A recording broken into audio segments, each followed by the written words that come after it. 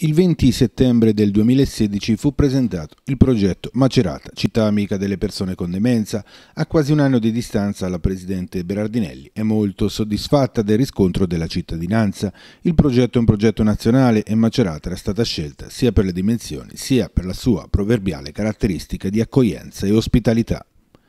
Molte le iniziative fatte finora, ad iniziare proprio dal locale di Piazza Mazzini, divenuto in poco tempo punto di aggregazione per molti cittadini. Senza grossi stravolgimenti una comunità si fa carico di difficoltà di qualche persona e di alcune famiglie e grazie a un atteggiamento differente, si fa un percorso insieme che eh, può portare ad un cambio radicale, uno stile di vita diverso. Quindi abbiamo fatto eh, della formazione eh, sia alle categorie e poi la seguiteremo sia alla scuola alle famiglie, perché sono due percorsi che devono andare eh, diciamo in contemporanea, e abbinando delle attività eh, di socializzazione, perché spesso eh, non è la malattia che preclude la vita sociale, ma è la nostra incapacità a gestirla.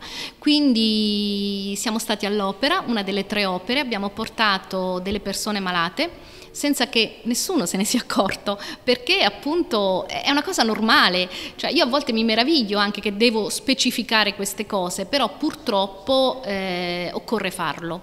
E noi eh, proviamo, siamo andati al cinema, insomma, e continueremo a fare tantissime altre cose normali, perché il nostro obiettivo è proprio quello di dare normalità alla persona in qualsiasi condizione e soprattutto in ogni stato di salute. A settembre molte altre iniziative del progetto Scuola alla partecipazione all'Alzheimer Fest in Lombardia per poi arrivare alla data del 24 quando ad un anno esatto dall'inizio del progetto si è organizzato una giornata evento. Parteciperà l'attore Leo Gullotta che mm, è stato magistralmente eh, interprete di una persona malata di Alzheimer e nel cortometraggio Lettera a mia figlia. Abbiamo invitato anche il ministro Lorenzin.